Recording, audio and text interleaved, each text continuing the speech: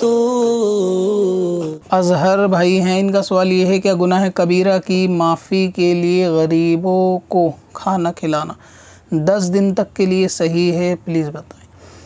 अजहर भाई, गुनाह कबीरा के लिए पहले तो ये डिपेंड करता है कि वो किस टाइप का गुनाह है। क्या खुद की तोबा से वो गुना जाएगा या किसी के उसमें हक है जो मारा गया, उसकी माफ़ी से वो गुना जाएगा। अगर वो गुनाह कबीरा ऐसा है, मिसाल के तौर पर कुफर या शिरक आए तो पहले उस गुनाह को, यानी कुफर, शिरक से भी तोबा करनी पड़ेगी। और अगर कोई किसी की ज़मीन पर नाजायज़ कब्ज़ा किए हुए हो तो भी खाली माफ़ी से काम नहीं चलेगा। प्रैक्टिकली पहले उस ज़मीन को खाली करना पड़ेगा। उसके बाद कोई माफ़ी होगी, उसके बाद दस को या सौ को खाना खिलाना चाहो। या फिर ये कि किसी के साथ ऐसा मामला है, मारा किसी को या गाली वगैरह बकी के बीच में जिसमें अनबन है या बोलचाल बंद है, इस तरीके का गुनाह कबीरा है। तो पहले उस शख्स को राज़ी करना पड़ेगा। अगर वो राज़ी होता है तो उसके बाद माफ़ी जो है मामला होगा फिर तोबा का। और अगर जनरली गुनाह कबीरा है यानी कि ऐसे गुना मतलब फ़िल्में, गाने, बाजे, बेनमाजी होना ये सब बातें। तो इसके अंदर पहले इन काम को छोड़ के सच्ची तौबा करनी पड़ेगी। और तौबा के साथ फिर उसके बाद अगर आप गरीबों को खिलाना चाहें तो खिला सकते हैं और इसमें दस की कैद नहीं है, बल्कि एक, दो, पाँच जितने भी हों खिला सकते हैं, पैसे दे सकते हैं, दोनों काम हो सकते हैं।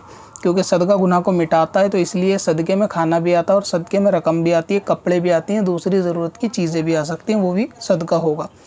तो इसलिए ये चीज़ देखी जाए कि गुनाह कर कर सिर्फ़ खाना खिला देना काफ़ी नहीं है। उससे माफ़ी भी, यानी तोबा करना इस्तफ़ार आप समझ लें कि ये भी ज़रूरी है, फ़कत खाना खिलाना ज़रूरी नहीं। हाँ अगर उस पर नदामत है और उस पर तोबा कर ली गई है और दिल के अतमाद के लिए खाना खिलाना चाहते हैं तो खिला सकते हैं। और इसमें दस की फिर बताता हूँ मैं, कोई कैद नहीं है, आप एक या दो लोगों को भी खिला सकते हैं। तो ये मामला किया जा सकता है। क्योंकि खाना खिलाना इस्लाम के अंदर वैसे ही पसंदीदा फ़ेलों में से एक फ़ेल है। यानी पसंदीदा काम है, खाना खिलाना या पानी पिलाना। तो इस एतबार से ये अच्छा है। अगर ऐसा हो जाए या फिर गरीबों को माल सदका कर देंगे, वो ख़ुद खा लें, दोनों बातें की जा सकती हैं। लेकिन वो पहले गुनाह कबीरा की डेफिनेशन देखनी होगी कि किस मामले का है और उसका जो है, किस तरीके से उसकी अदायगी होगी।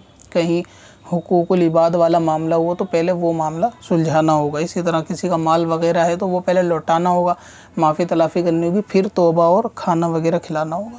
कब से अपनी खताओं शुमारा जाएगा।